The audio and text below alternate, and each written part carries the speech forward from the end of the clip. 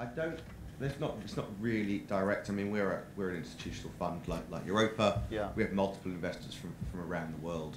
Um, you're seeing certain of the very very. I mean- to make an investment, you have to have a certain amount of know-how. To have a certain amount of know-how, you've got to have a certain amount of people, a certain amount of infrastructure. There are only so many investors that can actually deliver that. Well, WFC is a great example because you- we toured more than a- handful of sovereign wealth funds through through the property when it was for sale. All of them would have loved to have bought it, um, but they didn't have the asset management capabilities that would are, are very required when you have 75 tenants. So Daniel's ability to team up with that core core type capital with Allianz was largely predicated on Tristan's ability to asset manage. Yeah. Yeah. No. And so therefore you are you're those investors are coming in, but they will definitely be teaming up with someone. Um, look at uh, who did HOOPP do? Uh, who did HOOPP do the deal with the Czech Republic? Meyer Bergman. Yes, so Meyer Bergman. Yeah, so Meyer Bergman teamed up with HOOPP, which is a uh, Canadian investor. And HOOPP wasn't going to sit there and buy three shopping centres and secondaries in Czech Republic by themselves. So they are there, but they are typically um, they have to have to team up. Every investment manager we, we speak to, uh, not everyone, but uh, by and large, they all have a new segregated Asian capital account. Right? It's, um, that they're looking to place money for. So segregated accounts are the new trend. Um, the blind pools and closed-end funds are more challenging to fundraise for, I think. And uh, so these segregated accounts are coming from all over the world, and, and Poland's on the map. I, I mean, I mean, it's definitely it's definitely on the map. Um, um, yeah, and these people are looking for looking for local partners. Um, yeah, but I think, but I think generally the in, the interest from foreign sovereign wealth is increasing.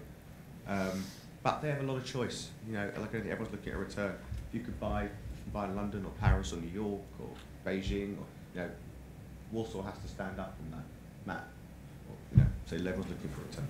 I think the question is, is there any product available? Is there Exactly. a real core product available? I mean, like we said on, on Silesia, I mean, it was bought by Allianz, um, um, it will be managed by ECE, and it is said to have some, some, uh, I think Chinese or at least Asian money in there, here. But how many of these products you have actually in the market? I mean, Manufaktura, the other shopping center, was bought by a German open-ended fund. So, I mean, they are competing clearly against each other, these kind of uh, sovereign wealth funds and the open-ended funds here. But how many products you really have? I mean, in, in Warsaw at the moment on the office sector, I would say there are probably one or two buildings here which would attract interest for such kind of sovereign wealth funds.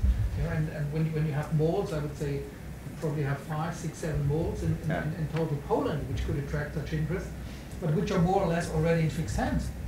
Here and logistics, they would rather go into into a cooperation like with uh, SEGRO or like with uh, with Prologis, because this is more management intensive. You know, it's not just uh, buying a shiny property; it's really you know having the, the, the platform available. So that's another problem for the for the for the sovereign wealth fund. When you look at, at Czech Republic or Slovakia, I mean, is there any kind of product actually available? I mean, you had the park, which was now sold this year, yeah, and I think this was almost 50% of last year's total investment volume in the market. Last year it was 600 million in, in, in Czech Republic. Yeah, so I mean, is, is this an attractive and liquid market for such kind of sovereign wealth funds? You're asking me? Countless moments, but, No, I think um, you've seen uh, the Qatari sovereign wealth fund come into Poland and buy uh, the new telecom headquarters. Yeah, because it's orange. It's orange and, and they already have France roots, more or less, or French roots.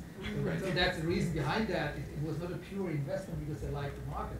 They know orange. Well, it was also a 10-year lease and uh, didn't require asset management. orange I think they are, if, if I'm not mistaken, they are also shareholder in orange. Absolutely likely, uh, given the, the size of them. Um, nevertheless, they did buy the building. So um, we, we don't see a queue of sovereign wealth money coming into the market directly, largely because uh, of the intensive asset management that it requires. We are currently selling buildings on behalf of investment managers uh, that whose money comes from sovereign wealth funds. So these sovereign wealth funds have been in the market for many, many years, um, largely the Middle Eastern sovereign wealth funds. Um, in terms of product going forward, around this time every year, I get a little panicky about, oh gosh, what am I going to sell next year? And next year tends to come and product appears. Um, if you look at peak investment volumes in Poland, it was 2006. Generally, everybody's operating off of a seven-year hold uh, on average. So that takes us to 2014. We should have some liquidity uh, and some product come forward. Uh, we're certainly seeing it this year, and uh, and every year we see the the, the cycle um, of ownership uh, continue. So we're, we're not too worried about product. Um, but I agree that the, the super core type assets, um, you know, we'd welcome a sale mandate from Daniel on WFC again. I think he'll make some money. Um, but these, these types of assets are few and far between.